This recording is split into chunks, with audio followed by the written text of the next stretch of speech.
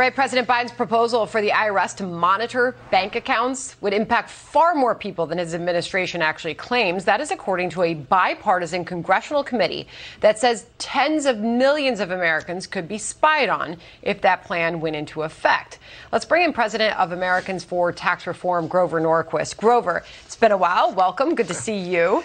Good First of all, you. where do you stand on this issue to begin with? Is there ever a reason why the IRS should be snooping on Americans' tax uh, bank accounts.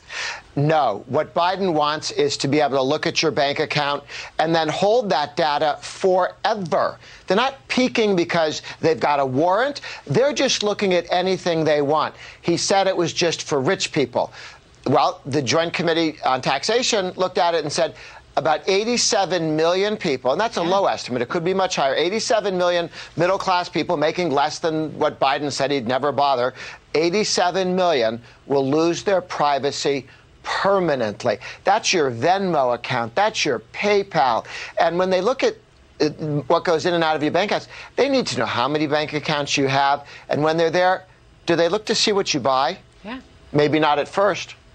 I mean, we're Maybe already after. living in a world where all of our personal information is compromised, and now the government wants access to our bank accounts. Uh, to your point about the numbers that the Joint Committee on Taxation came up with, Mm. they estimate 87 million Americans earning less than $400,000 will see their account information reported to the IRS. That accounts for 59% of the 148 million U.S. taxpayers earning less than 400,000. Tell us your concerns about the slippery slope. If they get access to this, they can snoop out our bank accounts, they get that information, they see what we're doing. What's next, Grover? Well, we can look back and see what the IRS has already done. It was exactly six months ago that we learned that the that the IRS had given or leaked the data on tens of thousands of Americans, their audits, their their audits, I mean everything about them, Yeah. to a left-wing group, ProPublica or whatever, is it- but it's a left-wing right. group that then targeted and went after people leaking this stolen uh, I don't know who stole it, whether ProPublica stole it or some IRS agents stole it. But this is not something that could come from one person. This was a huge project to steal this much data. It went out six months ago, we were told by the head of the IRS, who was testifying six months ago uh, today. You know what? Uh, we're going to be on top of this. And then since then, nothing. Crickets. Yeah. No arrests. And, and all of this, by the way, this analysis that we eventually got was in response to a question from Jason Smith, a Republican, who asked the tax scorekeeper to see how many Americans the policy would actually mm-hmm. encompass. And now we're starting to get a look at the real numbers here. Saying, quote, is it fair to assume that an hourly W 2 worker who also drives Uber on the side or sells on eBay would have all of his or her income subject to scrutinization, severely punishing Americans for nothing more than working hard and trying to provide for mm. their families? He wrote this in a, a letter dated November 2nd. And here we are. So now that there's more transparency, do you believe this will actually go through?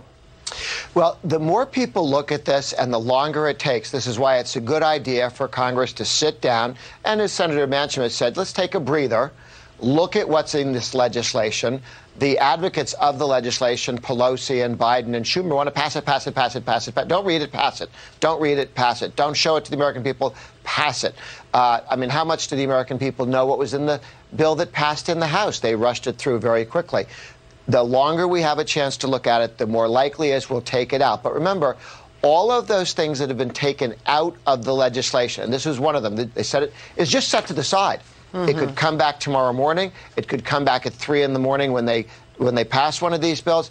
Just because it's taken out today doesn't mean it's gone away. Biden wants access all the time to your bank accounts. So does Pelosi. And so they say their reasoning, of course, is they want to cut down on ch- tax cheats, and this is the way that they want to go about it. And they are repeatedly defending this plan in the face of obviously a lot of criticism, not just from Americans, but from the banks themselves. They wrote in a memo to congressional Democrats that requiring banks and financial institutions to provide a quote little bit of high level information to the IRS on account flows gives the agency more information about wealthy Americans. Americans' earnings from investments and business activity.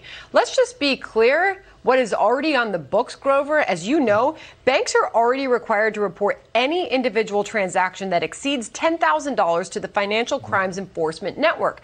There are already rules and regulations on the book books that would cover such high-level transactions. Yeah.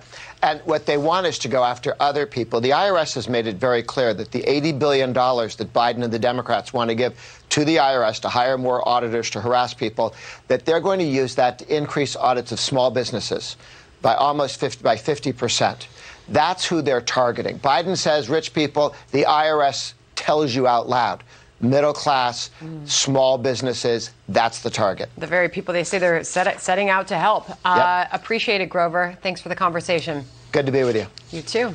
Mike, it's I, we'll we'll see. I mean, I, I don't know if this is inevitable, but I mean, there's a lot more transparency now as to who exactly would be targeted in this, and it is not just the uber wealthy and the rich. Sandra, during the Obama years, I did a million stories on the IRS targeting conservative groups seeing non, seeking nonprofit status.